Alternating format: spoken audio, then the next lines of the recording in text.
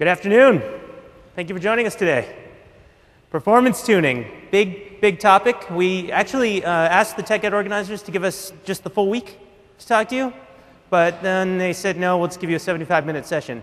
So we have precious little time to cover a huge topic area. So what we're going to do is focus in and talk to you about the key component of performance tuning, and that's actually finding the problem. Once you've found the problem, the job is actually pretty easy. So I'm Adam Machanic. I specialize in uh, financial services databases based in Boston. I've uh, written a couple books. I have a blog at sqlblog.com, and I speak a lot of these things. This is my sixth year at TechEd. Really glad to be back. This is definitely one of my favorite conferences to speak at all year. Really look forward to it. Like you to note two things on the slide. One is my email address at the bottom of the screen. Feel free to drop me a line, questions, comments, if you're lonely, whatever. Uh, the other thing I'd like to point out is sqlblog.com. Again, that's my blog site, and that is one of the places that you can go after this session to download the scripts. So you might want to do that. My name is Mike Wachal. I'm a senior program manager at Microsoft. Says here I work in the SQL Server Diagnostic Infrastructure. That's just a fancy way of saying that I work in the engine on stuff like SQL Trace, extended events, and the stuff that makes error messages pop up on your screen. All the infrastructure that helps you figure out there's a problem. Um, I speak occasionally. I've been to PASS. This is my first TechEd, so I'm very happy to be here, and I'm happy that you came to see us. And I also speak at ballroom dance competitions, so you didn't read that wrong. I don't give this talk to the ballroom dancers, though. You can see my blog there up on MSDN. I do also mirror that blog over to sqlblog.com. Adam helped me set that up, so whichever one you like to read, you can read that. I'm perfectly fine with it. And you can see my email address there on the bottom of the screen. As Adam says, we're going to be talking about tuning with a specific focus on how to find the problems that might exist in your system, and we're going to start out with a bit of an overview. Every good presentation has to have a virtuous circle. Now, I don't know that performance problems can be considered virtuous, but that's what they call the circle, so we're going to talk about the virtuous circle. In fact, because systems are so dynamic, the fact is that if you get rid of one performance problem or behavior you don't like, your workload's going to change, you're going to get more data, you're going to get less data. Something's going to cause another performance issue. So the fact of dealing with performance problems is itself cyclical, and doing it correct can indeed be virtuous. So, the first kind of stage of the performance tuning cycle is uh, monitoring and actually data collection. And if you're not collecting data, you do not know what to tune. And this is one of the biggest mistakes that people make. Uh, the server's slow, and they go in and they start guessing about things. And they start uh, trying to add indexes or trying to kind of figure out which queries are slow on an ad hoc basis, uh, test something, maybe they have a hunch. I don't like hunches. As a performance engineer, you don't want to rely on hunches. You want to rely on metrics, on data, and you want to collect your data in a time-stamped format, and you want to be able to baseline the data so that you can ask questions like, at 10 a.m. on Wednesday, what kinds of activity can we expect to see on our server? And this will help you to understand come 10 a.m. some day when there's a big spike. It'll help you understand whether that spike is normal or whether there's a problem that you actually need to look at. So, whenever you're performance tuning, monitoring and collection of the data is probably the most important thing you can do. It keeps you focused on the real problems and keeps you away from guessing and wasting time and looking at things that you don't really need to look at. So the next phase after monitoring is closely coupled, and that's actually troubleshooting, and this is actually looking at the data. So we kind of split this up into collection and then identification. This is the part that's a little bit more difficult and also a little bit more interesting. Uh, looking at the data and trying to interpret whether you have a problem is one issue, and then if you do have a problem, what that problem is. Is it a disk problem? Is it a memory problem? Et cetera, et cetera. And at this point, what you want to do is start exercising that cycle. If you're not collecting enough data or detailed enough data to identify the actual problem, you obviously need to drill in and collect a more granular form of data. So cyclically monitoring, troubleshooting, monitoring, troubleshooting, and then moving on. So once you've found the problem, obviously that's the part where tuning and optimization comes into play. Most obvious thing you want to do is correct the problem. You've found what's going on. You don't have an index. You want to add the index. All that good stuff, correcting the problem. But there's a few other things you might do that don't necessarily say, oh, correct the problem and I'm done. One is improve the query. Maybe you could rewrite the query in a different fashion, reorder a few things, so you should really consider that. That might be a good solution. Another thing to do is just modify your approach. Maybe you're using TempDB and you could find another way to do that. Maybe you're using variables when you could be using a common table expression. So think about how your approach is actually impacting your performance, because there are certainly differences between how each of the components in SQL Server work. Different components work better for different things. And then finally, testing and deploying. Once you've made the fix, you got to get it out to the users so that they can experience it. First thing you want to do before you send it out there is validate it. This is really a critical part. You want to make sure that, first of all, the data you want to receive is still the same data you're getting after your fix. You want to make sure that the behavior you're trying to avoid is now actually being avoided, that you've corrected the problem that you found. This might also be a good time to add to your monitoring. If you change something about the way your queries work, you want to make sure you're monitoring that change so that you see that thing in your new monitoring solution. You might also need to take a new baseline. This is another good thing to do during test line to make sure that you have that accounted for in your baseline. Then you can move it to production, get it out there so the users are actually interacting with your new behavior. And then just to close that down, you want to confirm with the users who are using this product that the behavior is actually what they want, that they're not still seeing the slowdown, that they're not still seeing the bad behavior that caused this entire cycle to start in the first place. And then finally, and we can't f- emphasize this enough, don't forget to test. If you don't test, bad things can happen. As Adam mentioned right at the beginning, optimization and tuning is a huge topic. Since we only have 75 minutes, we want to narrow into some very specific things, and that is how you find the problems that you need to tune and optimize. And we're going to focus even a bit more on some specific technologies that you can use to do that. Two key technologies, in fact. First, dynamic management views. This is a tool we introduced quite a while ago in SQL Server. It allows to, you to get point in time information about cumulative data about the server. Most of them are about since the server has started. There's a whole raft of these that we'll talk about as we go into detail about dynamic management views. Thing you got to remember about this is since it's point in time, if you want to use it for historical analysis or comparisons, you have to take snapshots and store those as you're going along. So there's your monitoring solution. Second technology we're going to talk about is extended events. This is a diagnostic tracing facility. So instead of cumulative data like you see in DMVs, you're going to see actual point of activity data. Every time something happens, we're going to fire that event. It happens again, we're going to fire it again. So if you're storing that data off, it basically has a historical trend itself to the level that you're going to keep that data. Important things you want to know about extended events is that this is what we are going to be pushing to replace SQL Trace and Profiler starting in the next version of SQL Server, codenamed Denali. And if you've worked with extended events before, you notice there was a gap that it didn't have a user interface. We'll be talking about the user interface that we're adding in Denali so that we can help you along in undertaking this as your tracing facility. All right. So dynamic management views.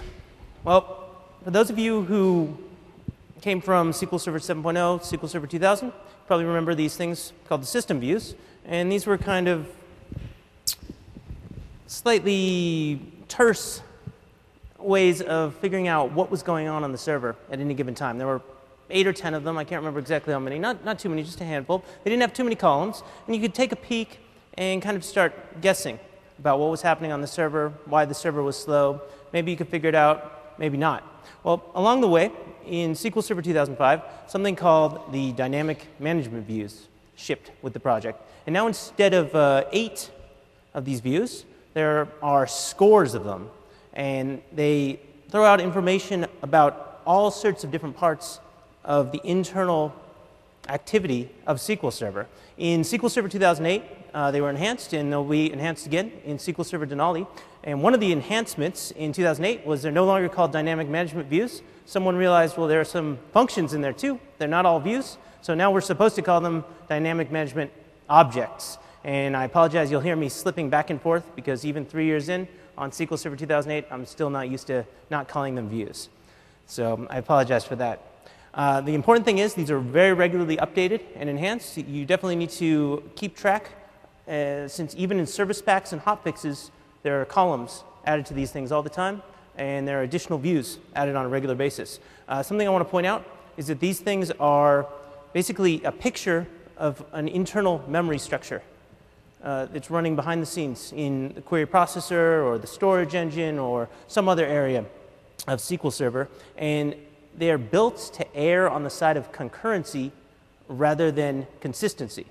And what this means, let me give you an example. On a busy server, there could be hundreds of thousands of locks taken and released every second. Now, if you do select star from sysdm tran locks, that's the dynamic management view that gives information about locks, well, you're going to start getting lock information streaming back to your management studio session. And how long is that going to take to stream back? Well, if there's millions of locks, it could take a minute or two, something like that, for all those rows to come in. Now, if SQL Server were to take a latch or a lock on that internal memory structure and make sure that nothing changed while you were selecting from it, then your entire server would grind to a halt while you were pulling that information back so that you could get consistency. So instead, no latches or locks are taken. The data comes back, but as it's coming back, the data can change. Data that you've already read can change, data that you haven't read yet can change. So this means that sometimes, as you're querying these views, especially on an active server, uh, you can get kind of weird data. You can get keys that seem like they should be unique that'll actually repeat. and get kind of slightly half-formed data, data that do doesn't quite mesh up. And that's okay.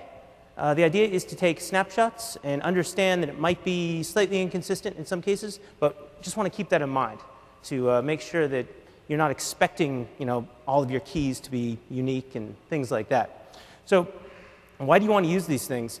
These give you raw access to a ton of information. If you can write queries, I hope that you all can write queries since you're in a SQL Server session here at TechEd. Uh, if you can write queries, you can get a ton of information from the dynamic management views.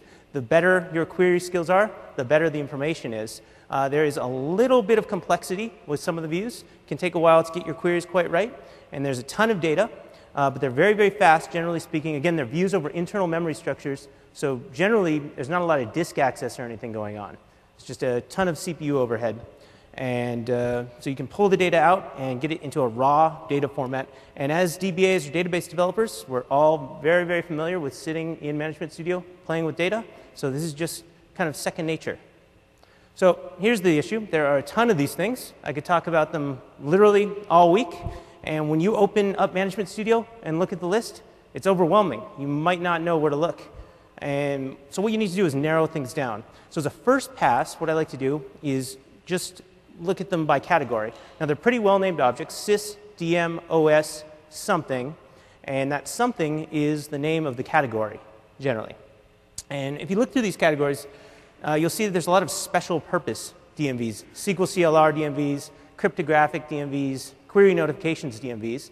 Uh, if you're not using one or more of these features that are special purpose, ignore them. You don't need them right now.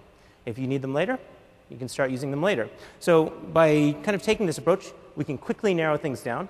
Today we're talking about performance tuning, and I'd like to talk in particular about real-time activity monitoring. So we'll narrow down to the categories that I feel are important for this role, and these are dynamic management views that deal with the execution environment, details about what query execution is up to, uh, information on transactions, information on the query processor itself, and then information on everyone's favorite shared bottleneck, TempDB. So let's start with the execution environment. Here's how it works in brief. Uh, you want to do something on SQL Server, you want to run a query. So the first thing you have to do is establish a connection to the server. If you're not connected, can't do much. Once you're connected, you get something called a session. And on behalf of your session, you can begin submitting requests. Select, insert, update, batches with multiple selects, inserts, or updates, store procedures, whatever. Well, there are DMVs that align with all of this.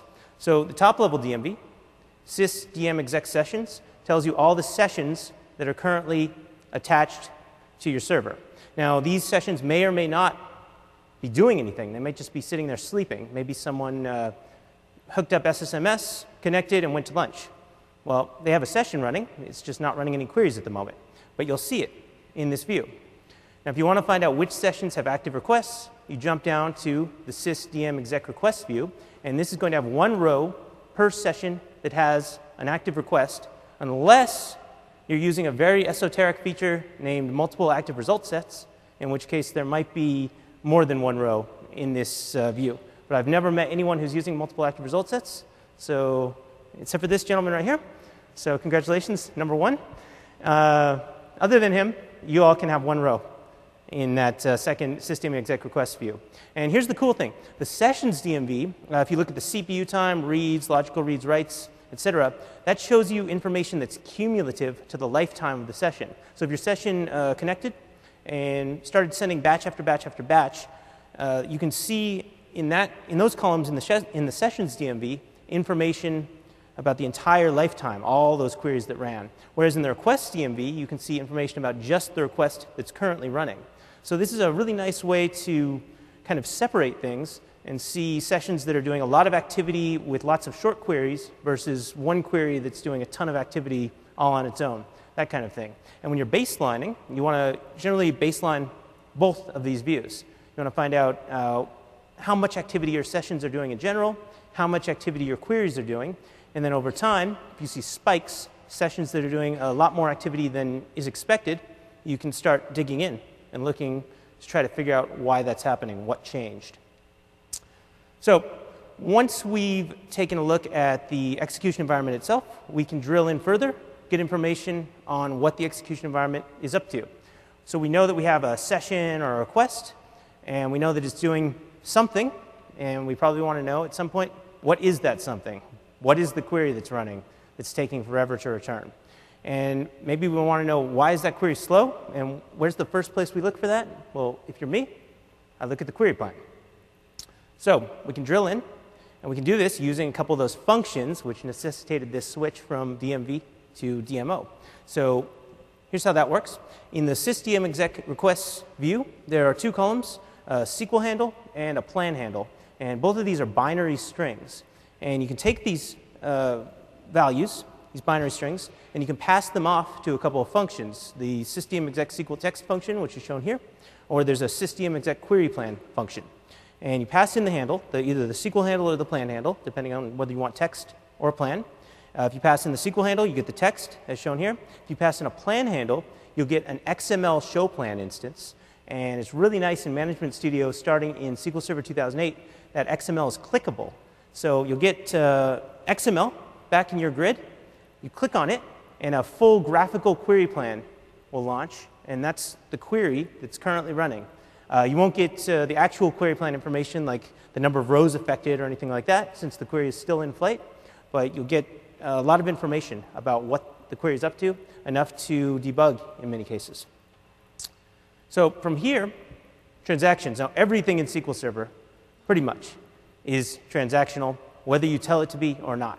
We have implicit transactions started whenever we run a query, or whenever we do an update, uh, or an insert, or anything else. Or we have explicit transactions that you can start using begin tran, commit, or maybe rollback, whatever. Uh, the important thing is that the transactions are, of course, associated with your session and with your request. And as you're running the transaction, especially as you're doing work like inserts, updates, or deletes, that work gets logged in the transaction log in the database, naturally. So what we want to be able to do is find out, uh, for example, when the log is growing out of control, or when we're having disk contention issues on the drive that the transaction log is on, perhaps it'd be nice, I think, to find out what's contributing to that activity. And I think we'd also maybe want to baseline that activity, find out which databases uh, get logged to on a regular basis, how much information is getting logged, and so on. And we can do that with DMVs. So here's how it works. We start with a session ID, and we can go off to a DMV called sysdmtran session transactions. This DMV has one row per session, which has a transaction that's currently active. And we can take a column out of that, a transaction ID, And you can take that down to another DMV, sysdmtran database transactions.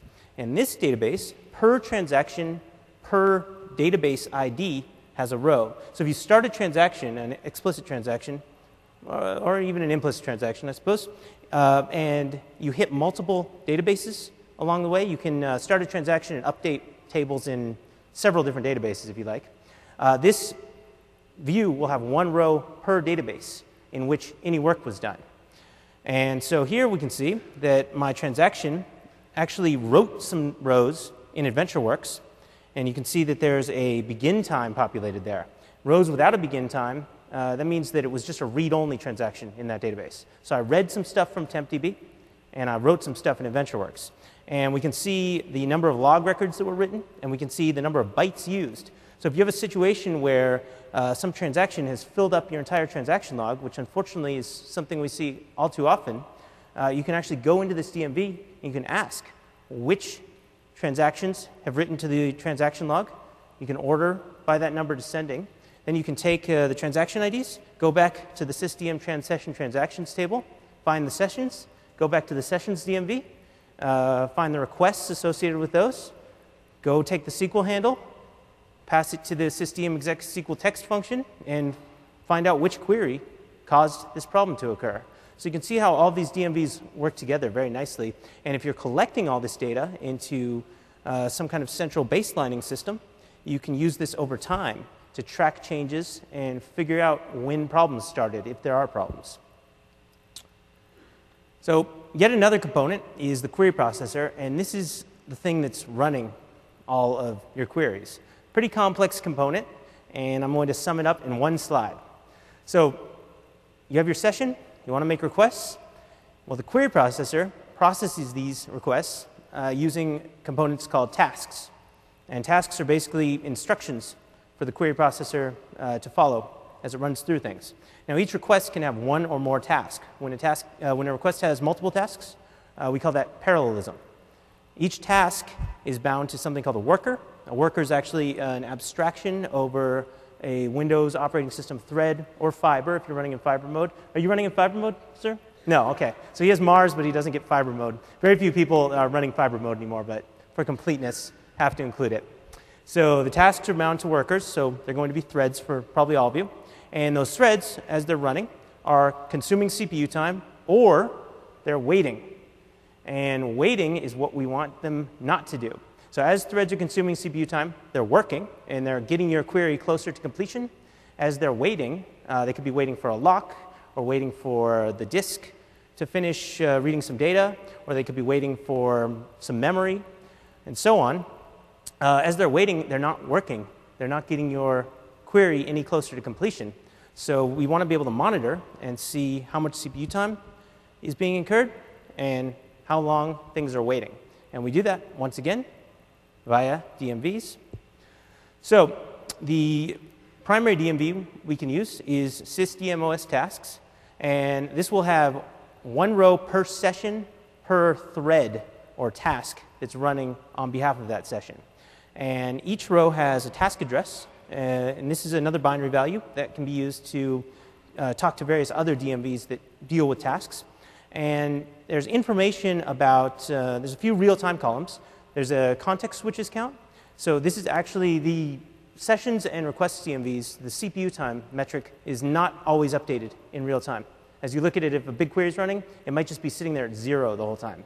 Uh, if you want to know kind of a better idea of how much CPU time is running, you can come over to the sysdmos tasks and check out the context switches. Now, context switches and CPU time aren't exactly a one-to-one -one relationship, but a high amount of switching is indicative of a high amount of CPU consumption. So you can come in here and at least get some kind of information about what's going on.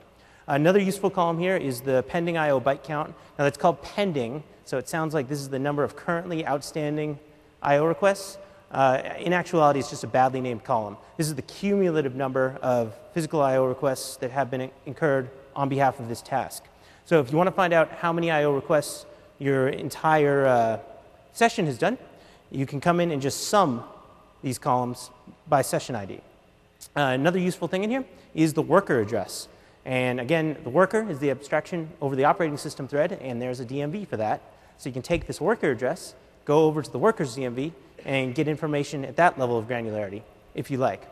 So again, when you're baselining, you want to keep track of how many tasks are spun up on behalf of each request. So what level of, uh, what degree of parallelism your requests are using. Uh, you want to keep track of how many context switches and how many IOs are being consumed on behalf of your tasks. And perhaps you want to keep track of uh, what kind of thread switching you're having, you're having over on the workers side. But a much easier and very interesting thing to keep track of is waits. Why is your query slow? Well, probably because it's waiting on something. So you go to the sysdmos waiting tasks DMV that also has a session ID column, and you can ask what are the tasks associated with my session actually waiting on? Why aren't they consuming CPU time and doing work? Well, maybe they are consuming CPU time and doing work, in which case there won't be any rows for your request in this view. But if there are rows, that means that you're waiting on something. So here we can see that session 53 um, has a few CX packet waits. Uh, these are parallelism waits. So that means that threads within 53 are waiting for other threads. And what they're waiting on is this thread that's being blocked by session 54, and it's being blocked on a lock wait. So that means 54 has, a, in this case, a page lock on some database page that 53 needs to continue its work. And that's why it's not returning. It can't do anything until it gets that lock. So to make the query faster, you have to get rid of that lock somehow. Uh, so as you're troubleshooting, finding the actual cause of the performance problem leads you naturally to the solution. And that's why we say that troubleshooting and actually finding the exact cause of the problem is by far the most important part of the performance tuning process. Um, these wait types, by the way, are somewhat documented in books online, but there are a lot of third party websites uh, that tell you what all these mean. So, what you do is you collect these things, and if you see one spiking or if you see one causing you problems, just go out, paste it into your favorite search engine, and invariably you get a ton of different web pages, forums, etc., that explain exactly what's going on. And these waits really do tell you why your query is slow. And they really do help you evaluate how to get it to the next level. So the final component I want to talk about uh, with regard to the dynamic management views is TempDB. And this thing is used everywhere. Uh, I have a little list of things there, and that's not even all inclusive. Uh, TempDB is used more and more and more by every single SQL Server release. And in lots of cases, uh, I see situations where TempDB, the disk is churning away, uh, or maybe it's auto growing and filling up the disk, or whatever, and the DBAs have trouble understanding what it is that's causing the problem. And again, this is where the guesswork starts. People start rebooting the server, uh, shutting down apps, killing SPIDs at random, trying to get things back under control. You don't need to guess. You can go out to the DMVs and you can ask. Sys task space usage uh, will have one row per task. Again, that's per uh, query processor instruction that's associated with your request, per session, and it'll tell you how much tempdb activity is being done on behalf of that task. Now, there's four columns that you need to look at. There's user objects and uh, internal objects. Both of them have allocation counts and deallocation counts. User objects are things like temp tables. Internal objects are things like sorts, spools, hashes. And so what you can do is add these up, the allocations and the deallocations. If you have a session with a high allocation count and no deallocations, that means that it's consuming space in TempDB right now. And if you have a session with high allocation count and high, high deallocation count, it may not be consuming space right now, but it's been consuming and deallocating space perhaps quite rapidly over time. So again, this is yet another thing you can baseline. You can keep track how much tempdb space should I expect there to be consumed at any given time in my application. If I see it spike, I know that there's a problem, and I know that there's something that I should uh, perhaps do about it. So is there anything I can clarify about DMVs at this point? Sir? Actually, I'd like to step to the microphone. That'd probably be better. Thank you.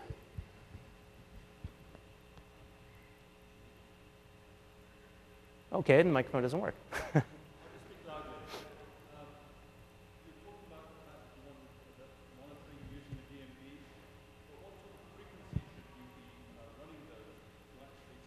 baseline to recall that information? Excellent question. So the question was monitoring with DMVs, great. How often do I want to monitor? What kind of frequency do I want to use on my queries? And the answer is it depends on how in depth you want to get. Uh, a lot of times, uh, snapshot once every 15 minutes is fine to start with.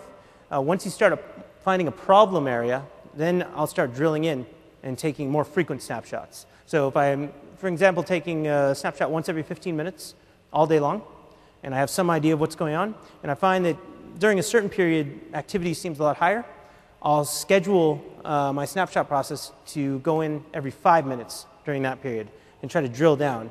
Maybe once I find a five minute period that's more active, I'll schedule it to go in once every 30 seconds for a while and just kind of drill into the lowest level of granularity I can, again, without impacting the rest of the server. Because, again, these things are fast.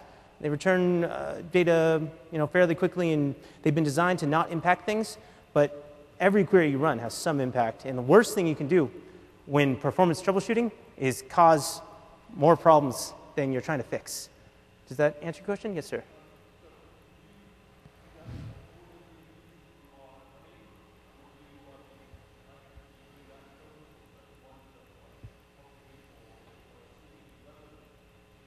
Right. So the question is, would I do that for all the DMVs that I'm running, uh, or just a few? And the answer is, uh, most of the time I would do it for all of them. The exception would be really big DMVs, like the locks DMV that I mentioned earlier. If you run that thing every five minutes, uh, you risk causing a major problem. So uh, that would be an example of one. Let's put it this way: if the DMV, if you do select star from the DMV and it takes more than a second or two to come back in SSMS, you probably want to be cautious with it. Uh, but most of these that I've just showed you, uh, they're very, very quick. They stay rather small even on pretty active servers. Any, uh, anything else I can clarify for anyone? Yes, sir.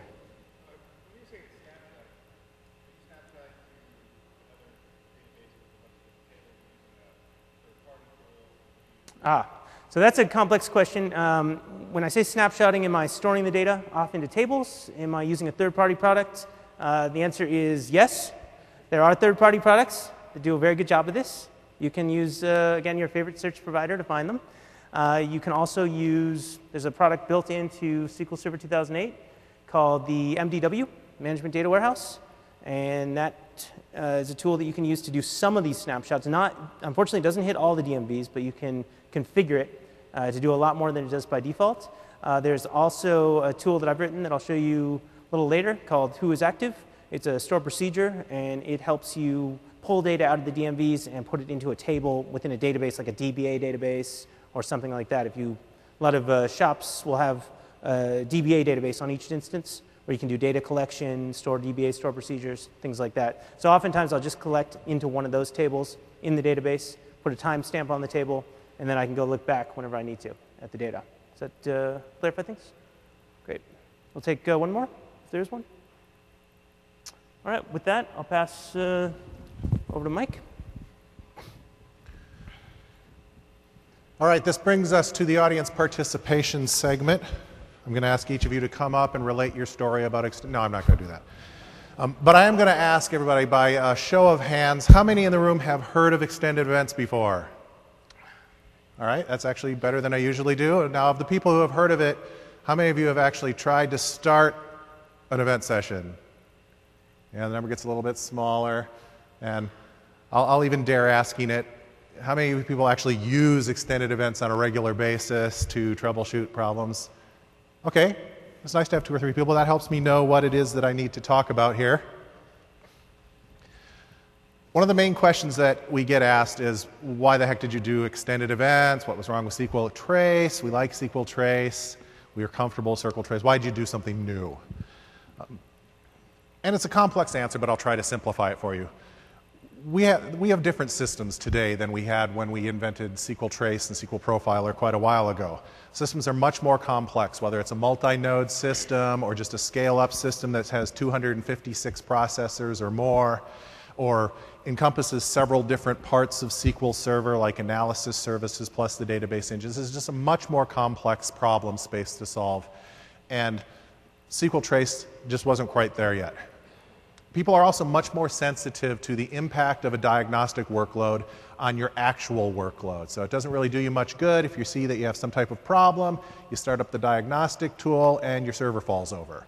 Or it slows down so much that you're not actually doing what you're trying to trace. There have been some problems on bigger systems with SQL Trace. We needed to move beyond that. We needed to get a diagnostic system that addressed those performance impact problems. We also want to get more detailed information. So, how do we go drill in even farther, get closer to the metal on these servers and systems, and, and find out you know, the real core of what's going on? And then finally, with these complex systems, we have unexpected interactions, and we wanted to be able to see those interactions. X events tries to, okay, I'm going to say that occasionally. X events, it's our code name for it. Extended events is the official name. If I slip back and forth, you'll know what's going on.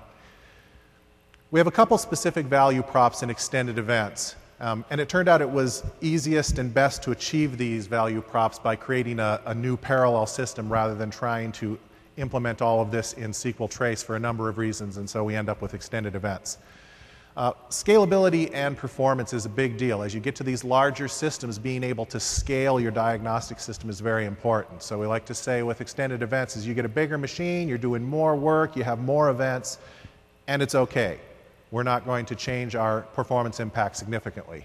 The other thing we wanted to do to get this more data idea is each event that you'll see in extended events is dynamic. You can collect additional data and just attach it on to every event that you want to do. You can even perform actions, and we'll talk about that a little bit later. We have the capability of doing cross process tracking. So, certainly now implemented within the database engine, if you have, say, a query that goes parallel, we can track those parallel threads and see this parent child relationship.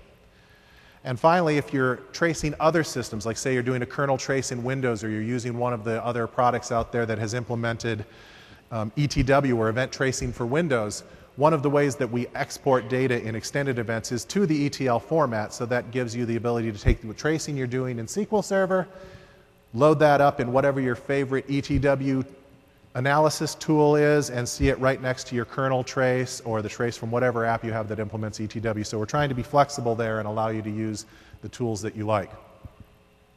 We introduced extended events in SQL 2008, and we didn't really do anything with it in R2 because that was an incremental release for the product.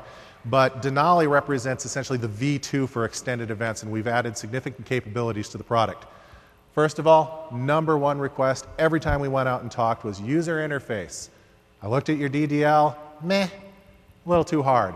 We did it, we heard you, we have a user interface, and we're going to take a look at it. The second part was in this idea of moving our tracing infrastructure forward, we needed to have parity with SQL Trace. So in 2008, we had a lot of events, but you couldn't get the same data that you could get from SQL Trace.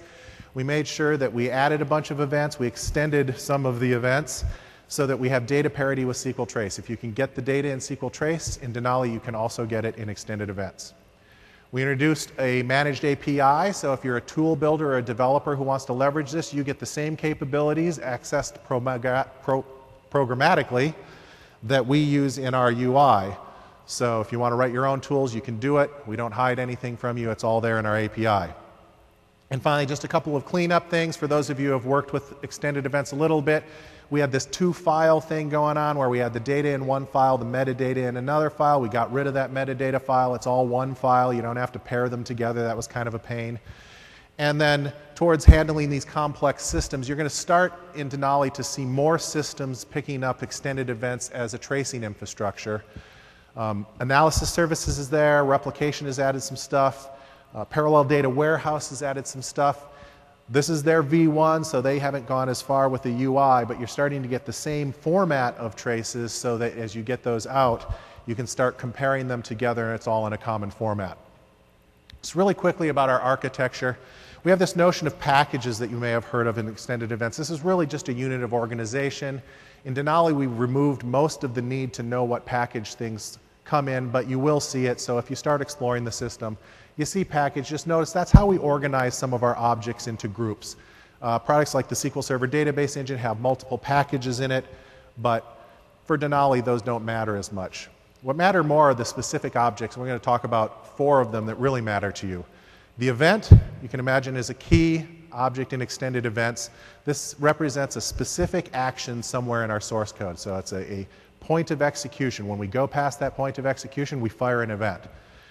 A difference you'll see from SQL Trace is that each of the events has a very specific schema. So if you're familiar with SQL Trace, you know they have about 46 columns. They're the same name for every event. Sometimes the column contains what the event says, sometimes it contains something else. Sometimes the column is named integer data 1. You won't see that in extended events. Every event has its own unique schema. If you see a column that says broker endpoint address, it will actually contain a broker endpoint address. So I think that makes it a little bit easier to understand. Actions is what we use to extend a specific event. So an action will represent us doing something, hence the name action. Uh, most commonly, it's going out and getting a piece of global information, like, say, a session ID or SPID, a database name. This is a piece of global information that we can pull out of the server. You can attach that to any event if you want that information as part of the event. Uh, second thing that actions can do is actually go out and do what you might think of as an action, like take a memory dump, which is a very key thing for tracing because you want to be able to trigger a dump at a very specific point. You can do that with extended events. You say, when this event fires under these very specific conditions, dump this thread. And that allows you to get very detailed about how you look at your memory dumps. Targets is just the name we call the things where we put our data. There's multiple targets available in the extended event system. Some of them are synchronous, some of them are asynchronous. Most of them are asynchronous because that's how we address the performance issue and we'll look at a few of them as we go on to demos a bit later. And then finally, and this is really cool, um, our predicate system is just a runtime filter. So we support all of the typical filtering that you would like, both on the data that's right in the event, as well as a lot of the data that's attainable through actions. You can do all the things you expect as far as Boolean expressions, looking at the logical data, and even looking at state of things. Like I could do, I want this when the duration is the maximum duration for this particular query, and I only want to ca capture that event every time it gets bigger. Um, it gives you a lot of capabilities to both reduce the amount of uh, the impact of your performance because we'll fire fewer events if you're filtering that at runtime, and it also reduces the amount of data you collect to just what you're looking at. Essentially, what we do is when we fire an event, the first thing we do is we evaluate this predicate if the, if the current conditions don't meet that predicate, we short circuit the event and stop firing. So you save the time to go gather all the extra data, fire all the extra actions, or you know, even publish the event. The event session is really the thing that you're running. So this in SQL Trace, you create the trace. Well, the trace is the event session in extended events. You can see from the picture, the event session is a top level thing. You can put multiple targets on a session, so if you want to write to more than one target, no problems. You can put multiple events on it, and you can actually put the single event in many event sessions. So you can have a bunch of event sessions if you want to collect SQL statement completed in all of them. No problem, you add it to all of them. We're only going to fire the event once. And then you add actions and predicates to each of those events. I'd mentioned the idea that packages is an organizational component, but it is not a boundary. You can mix events and targets and predicates from multiple different packages as long as they're within the same product, and that's no problem. And then just as you see some of the things we set, buffering is how we handle this asynchronous thing. So we publish everything to a buffer before we publish it to a target. That's how we improve our performance on a system where you want a lower impact. But how that asynchronous publishing works as far as how much time it takes you to get the data somewhere where you can see it. We call that latency. That's actually tunable in almost every target through both size and time, depending on the target. And the final thing I want to look at in the slides before I go to a demo is how do we do this notion of tracking events that are correlated together? So event A causes event B type of thing. So we start out with a tracked activity, like I've run a query or I've run a stored procedure. What happens inside SQL Server is we actually start up a thread and we're going to fire some events on that thread. If you've turned on what we call correlation, we actually give every event an ID. And that ID is represented here with the letter A for activity ID. The activity ID is a GUID plus a sequence number, and in here the GUID is 1. It's very simple GUID. You can see I've fired two events, so I have event 1.1 and event 1.2. But we get to this second event on process 1, it goes, hey, I need to do some more work somewhere else. Maybe it's a parallel query, so it's kicking some work off to some other threads.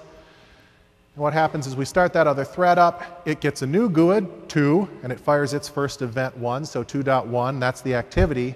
But you can see what we've done here is we've transferred the activity ID of the parent, 1.2, and we've filled that in. So when this event 2.1 fires, it will also have a parent activity ID that tracks where it came from. And then the process goes on, and more events fire on each of these threads, and they have their activity IDs. But this allows us to set up this relationship where you can see, oh, here's my parent activity, here's a child event that started from that parent activity, and then here's all the other threads that happened on, all the other events that happened on that secondary thread. And you can run queries that draw those together.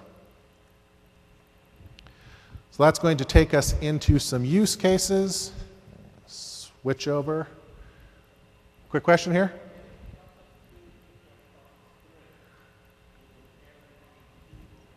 It would be two. So the question, so let me repeat the question. The question was, if process two that you saw there kicked off process three, what would the parent of process three be? And it would in fact be process two. Essentially, this just creates a stair-step approach that can go on for as long as this correlative relationship goes on.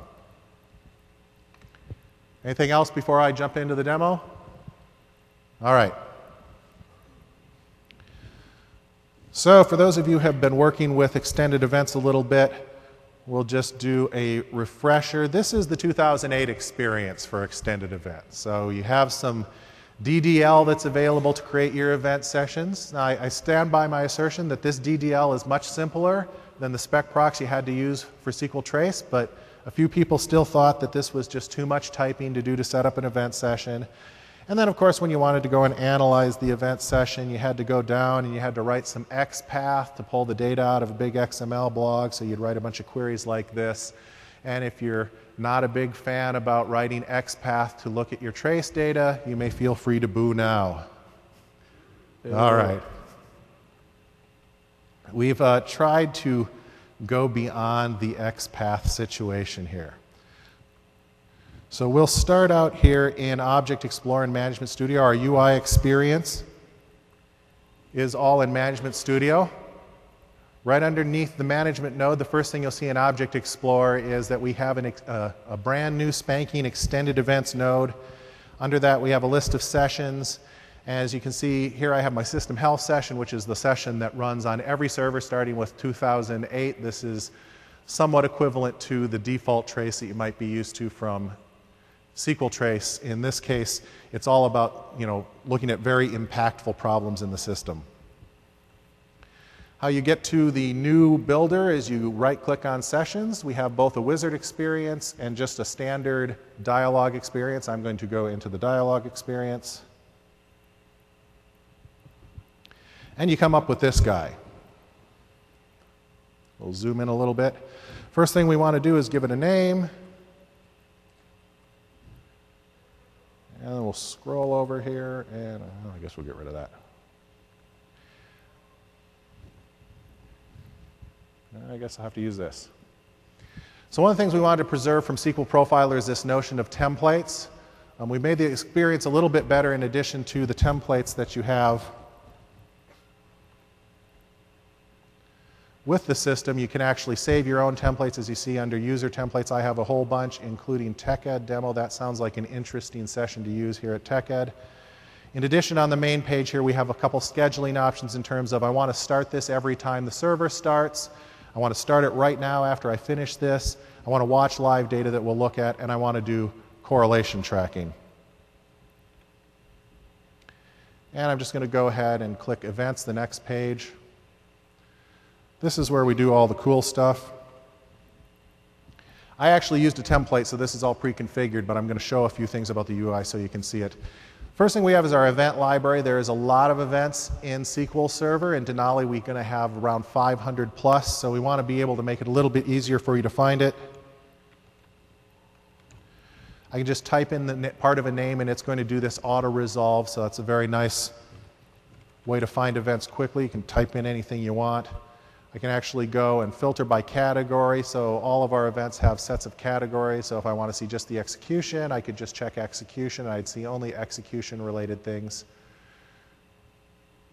And then we also have this ability to search in different things. So I was searching by event name. I can also search in the descriptions or just the fields. All that's available as part of the search experience. You can see when you select event down on the bottom, you're going to get a description of the event along with the fields and a description of the fields. And if I want to do a particular event, like say I want the user event, I could just double click it. It's going to pop over here into the selected events list. I can also multi-select these, do a discontiguous select and hit the arrow. All that works. As I said, you can actually modify each event. You can add a predicate or you can add actions to any given event. So you do that by clicking this configure thing. At this point, I could actually move on. We could run this. I'd be collecting these events, but sometimes you want a little bit more data. You can see in this pre-configured version, I have some indicators here. This lightning bolt is my global field, which means if I select on this, I'm going to have some of these selected. And I'll just click up here to sort this. You can see that I have client app name, database name, event sequence, and session ID. These are just global data that I'm adding to every one of these events. This happens to each be the same, but they don't have to be. I could add the call stack to SQL statement completed. It's only being added to SQL statement completed. Same is true for the filter or the predicate. I've actually added a predicate to all of my events saying that I only want to fire that event if it happens in the Northwind database.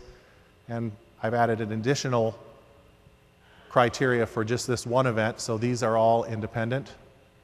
And then the last thing you can see here is this is more just an informational piece for the most part. It shows you once again the fields that are part of an event plus the uh, information about that event. There is one thing here when you pick an event like SQL statement completed that has an optional field, statement here, I can check that or uncheck that if I want to collect the statement. In some cases, we make this a default option if it's something you would obviously want but maybe don't want. In other cases, we don't collect stuff by default. Data storage is where you select your target. You can put multiple targets, so you can see here I have two targets, a file target and a histogram target, which is basically count stuff by a category. When you add a target, it's going to give you a set of options. Zoom in a little for you here that are unique to that target. So, file target, I want to pick a, a place where I'm going to put the file. I want to set my file size and tell whether I'm going to allow rollover files. I pick the histogram. You can see I'm going to do build a histogram on the wait type for the wait info event. If I wanted to add another, I could just go down here and pick the ETW Classic Sync target. I could set the information I want for that. I don't actually want that target, so I'm just going to remove it. And then finally, in the advanced options section, we just set the session options. So, how we handle event loss, how many seconds we want to wait for latency. I just use five because that's good for demos. Probably not the best for production systems, so you'd want to play with that. And we can set some memory size and how we do partitioning. I'm not going to go into a lot of details there because that would take a little bit more time than we have. I click OK, it goes away, and what I see over here is in my Object Explorer, I have the TechEd session. First thing I'm going to do is I'm going to right click. I'm going to go ahead and say Start Session. I'm going to say Watch Live Data. So what we have here is this is actually hooked up to the session and it's looking for whatever happens in that session. I'm going to start a little workload here.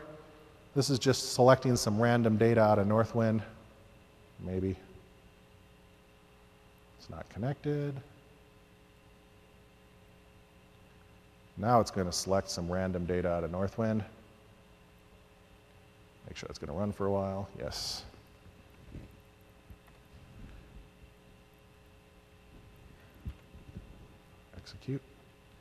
So that's doing some stuff, and as you see, we're starting to get events pop into the system over here. So this is actually a near live stream of data that's coming out of the session that you just saw me create, telling me when a SQL statement's starting and when wait infos are happening. I have a little delay in here, so every once in a while it's going to pop some more events. You can see we have 72 events up here, and that's going to increment over time.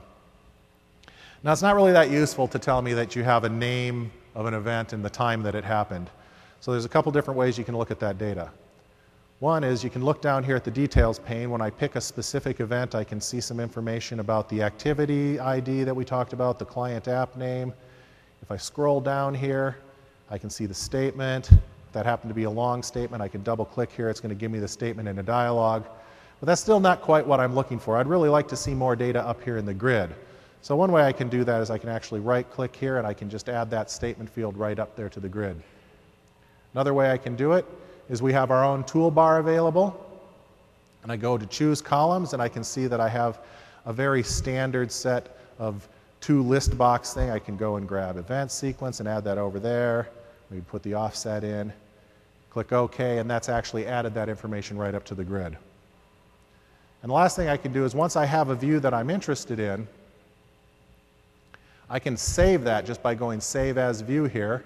I've saved one previously, and I'm just going to open that. And what that actually gives me is it, it gives me a whole set of columns that I've already saved. So if I have a view in the grid that I really like, I like those columns, I like the filter, whatever I've put up there, I can just save that as a display setting.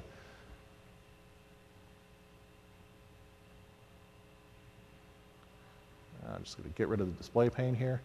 Now, the last thing I want to talk about this display grid is there's a few advanced options. I'm going to go in here and just stop the collection of this thing right now, so I can just essentially pause that here. And I can do some things. Like, say I'm interested in saying what was the highest duration that I had here. I can just go there, right click on duration, and say sort. Apparently, nothing had any. Oh, okay.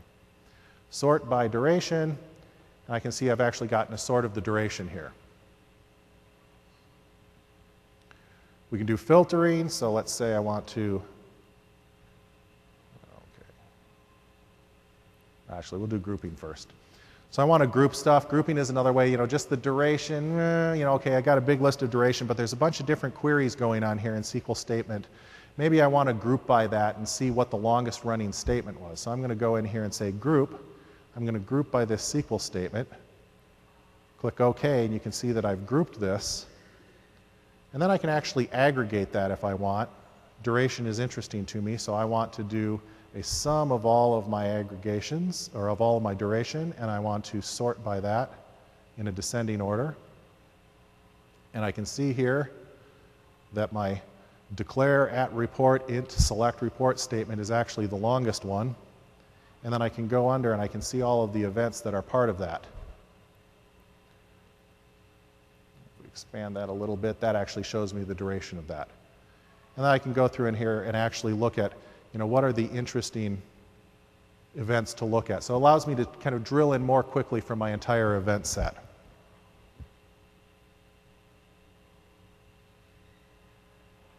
Remove that.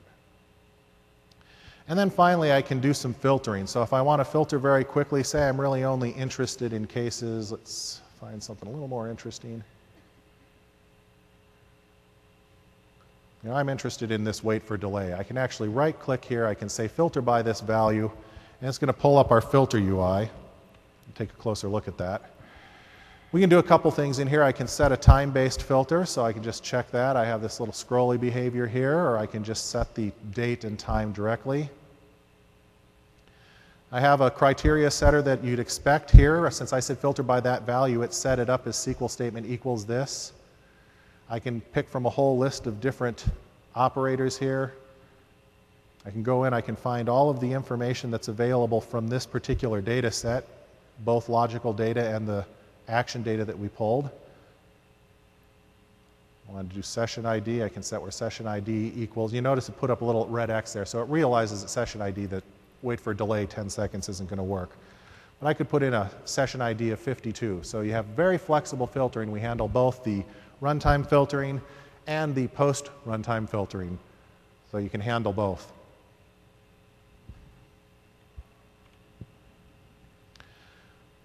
That is really the whirlwind tour of the UI. So, any questions, clarifications about what you've seen about the UI? We'll take the first question here in the front.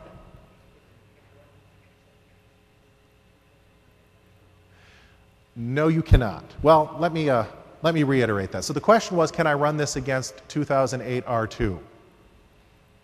The create experience that I showed, you cannot run directly against 2008 R2, but you can script out the session that you created, and as long as you haven't used any features that aren't available in R2, you can take that script and run it back. So if you have both, you can at least transfer the scripts back and forth. This UI that we've seen here, the live viewer that I showed will not work against 2008, but the file, this also works exactly the same for opening up a file. It would look exactly identical. Everything I showed you will work against the file. We do support the file formats all the way back to what we introduced in 2008 and 2008 R2, so those will both work for you. There was a question a couple seats back.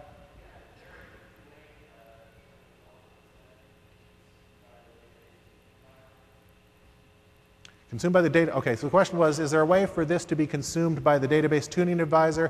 And the answer is no, there isn't, not in Denali. I'm working with the DTA team to take on our XEL file as the new thing we use, which is obviously one of the steps we have to get to, um, it's not doable right now. Anything else? Other than that, I think uh, we'll bring Adam back up for some DMV stuff. All right. So Mike has just showed you some of the extended events, Well, I think you went to sleep. and my computer's asleep. Wonderful. So, while I'm rebooting my computer, we'll talk about DMVs. PowerPoint. So, Mike has just talked about some of the extended events uh, stuff, and extended events is really useful when you want to go out and get a very granular view of what's going on in the system.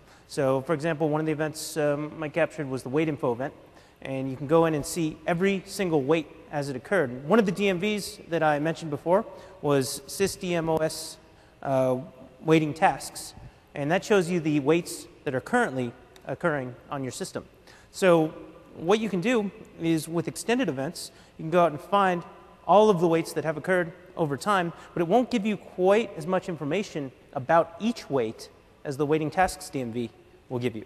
So what we can do is use these two tools together. So for example, if we find that we have uh, a number of waits of a specific type from extended events, uh, for example, latch waits, uh, where there is a lot more information available on the latch wait than just a latch wait occurred, uh, we can take that information from extended events and then we can go back and drill in using the DMVs. And that is what I'm going to show you today. I'm going to show you an example of, uh, if you'll give me one second.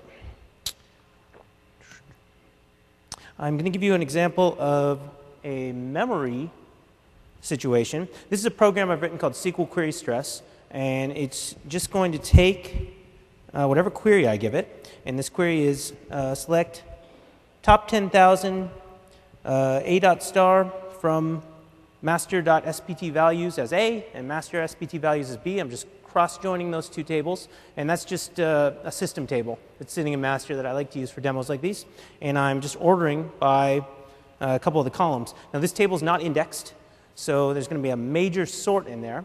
And whenever sorts run, uh, they consume memory. You need memory for the sort. And so, what I'm going to do is run this query 100 times on eight threads. So, when I kick this off, eight sessions will be opened on my SQL Server instance, running this query until it completes, and each one will run it 100 times. Actually, we won't let it run that many times, but that is what could happen. And let me just open this SQL file and connect up. And so what we're going to see, I'm going to kick this off. I just hit go. And what we'll see right away is waits in the waiting tasks view. And I know that I'm going to see resource semaphore because I wrote this demo. Uh, but if you saw resource semaphore in your view, you would say, what is this resource semaphore thing? And what would you do with that? Well, you would take this and you would copy this and you would paste it into your favorite search engine, and it would bring up a web page that would hopefully tell you that resource semaphore is a query memory wait. And query memory is the type of memory that's used when there are sorts or hashes. And uh, sorts and hashes take space to do their work. And so that space goes in, uh, into an area called the resource semaphore. So as you can see, all of our queries are waiting quite a long time on this resource semaphore wait. Uh, they've been waiting, you know, five seconds here. And I can pull this information another way. I've written a store procedure called who is active, and I'm going to run it. And who is active takes information from all of the DMVs I've showed you today, plus a lot more, and it pulls back all the information into a single format. So it tells me this is how long these queries have been running. These are the session IDs for the queries. This is the actual text that the query is running. I bring it back into an XML format so you can click on it and actually see the query as it was originally formatted. Um, get the login name, and then we have the wait info. And this is again, this shows us what the query is actually waiting on. So we can see that this session was waiting four seconds from memory, and this session was waiting two seconds from memory. These weren't doing any work. They were just waiting for memory. Uh, we want them doing work and actually nearing completion, not sitting there waiting for memory. So we have to tune this. So I'm going to go ahead and stop this. And uh, let's grab one of these queries. Oops. Okay, so here's a query, and let's take a look at the query plan. And what we can see is that we have a sort here. And this sort is what's going to consume the memory. And the way that the query optimizer uh, works with sorts is that it uses the estimate, the estimated number of rows and the estimated row size uh, when the query was compiled to figure out how much space to allocate for the sort. So here, we hover over here, this, we can see that our estimated number of rows is 6.2 million uh, with an estimated data size of 431 megs. And what that's going to mean is actually double that amount will be the ideal sort space. So we're going to have an ideal sort size of 860 megs, which very, very quickly consumes all the RAM on my laptop here, which is why we saw those resource semaphore waits. So if we want to drop that amount of memory allocation, we need to change something. Well, there's many ways you could do that. You could add an index. You could uh, put more memory into your server, or you can trick the query optimizer, and that's what we'll do here. So I'm going to change this query. And instead of uh, directly from master dot dot spt values, I'm going to do select top at i star from master spt values. And I'm going to copy that, paste it down here. And so now I'm selecting top at i rows from the table. What is at i? Well, it's a variable I haven't declared yet. And I'm going to set it to 2. Is that 2 billion? That's only 200 million. I need one more zero. So now I'm going to select the top 2 billion rows from each table. Now I know there's fewer than 2 billion rows, so that's definitely going to give me all the rows in each table. So this query is logically identical to the query we saw before, and it'll actually compile to pretty much the same plan as we got before. But what we can do is exploit the optimize for hint that was added uh, in, I believe, SQL Server 2008. And it's option optimize for. And we can optimize, we can tell the query optimizer to treat the query as though the value of at i was whatever we want. And so in this case, I'll make it 1,000. So we're going to optimize the query as though only 1,000 rows were coming out of each of those tables, even though it's many more than that in reality. And if we look at this query plan, we still have our sort, but now the estimate is only a million rows rather than 6 million rows. So when this sort runs, it's going to use one sixth as much memory as the prior sorts. So let me go ahead and take this, paste it back into SQL Query Stress, open my load file here. And I'm going to go ahead and hit go. And those have started running. And I can go back here and uh, run who is active again.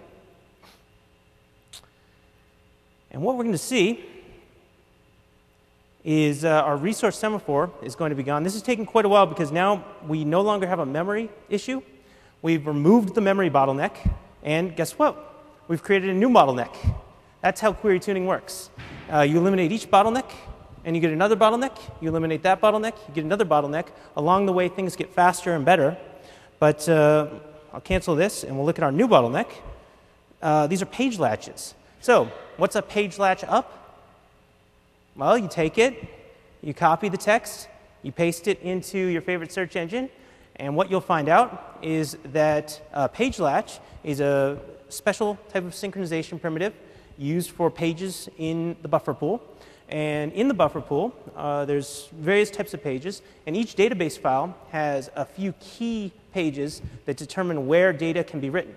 And it has uh, GAM pages, global allocation map, SGAMs, shared global allocation maps, PFS pages, page free space pages. And what happens is every time something needs to be written out to the data file, uh, the first thing that's done is these pages are checked to see where stuff can be written. And the problem here is that uh, I have all of these sessions, and when I reduced that memory grant, I actually forced data, rather than being stored in memory, to spill out to TempDB.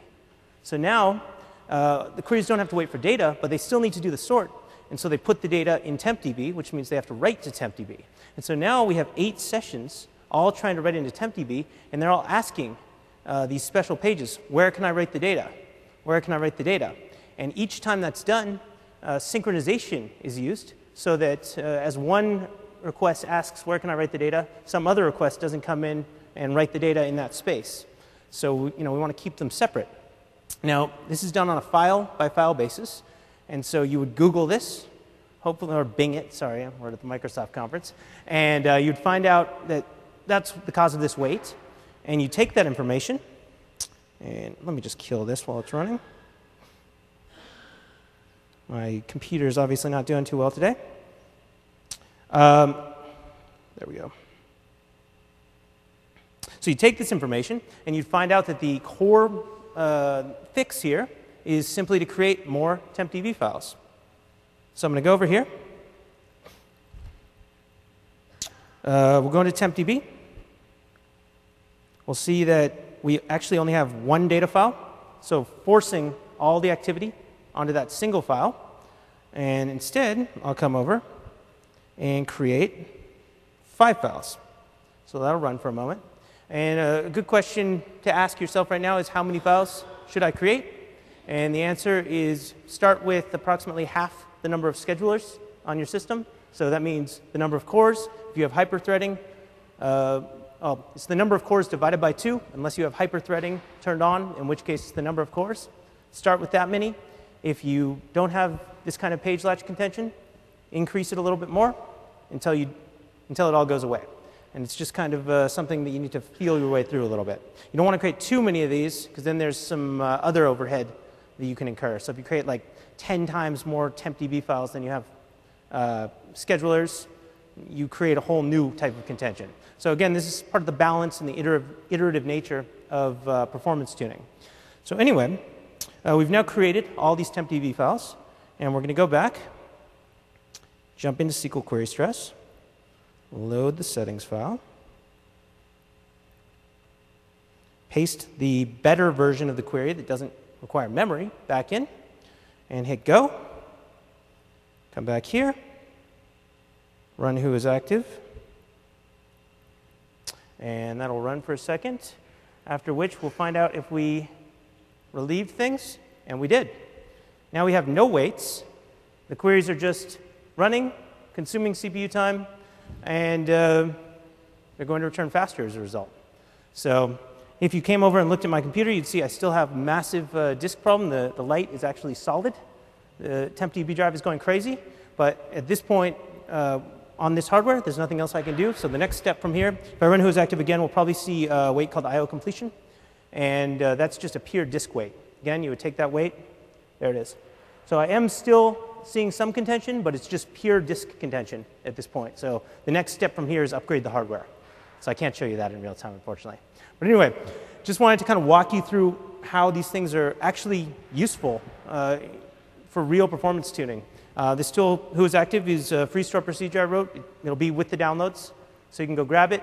And this is what I use pretty much all day, every day to do uh, most of my baselining and performance tuning uh, straight out of the box.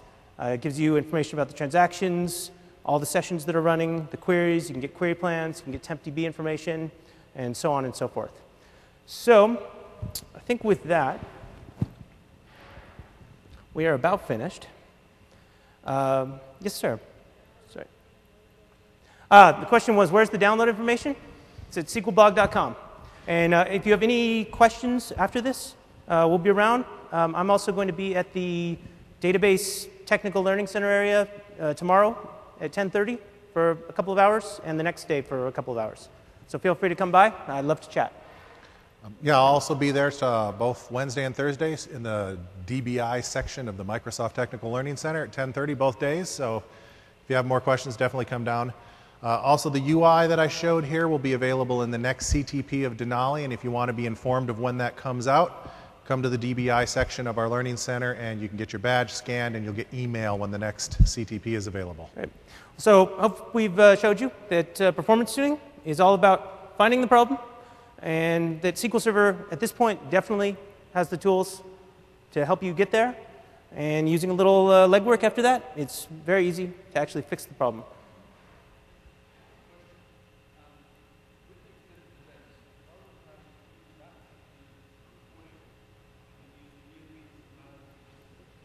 Why don't you come up and talk to us in one second, because that's a little more involved. Uh, I just want to thank you all for coming. We're now exactly out of time.